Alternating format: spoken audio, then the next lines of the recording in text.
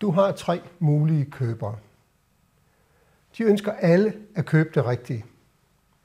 Den ene er positiv og imødekommende og kender dig måske i forvejen. De kan godt hoppe direkte ind på shoppen. Den anden er afventende og har brug for gode grunde til at vælge dit produkt og dig som leverandør. Og den sidste er af en eller anden grund skeptisk og skal derfor have vigtige argumenter for at vælge dit produkt og dig som leverandøren af det. Tænk, hvor mange I går glip af, fordi I ikke sælger jer ind til køberen.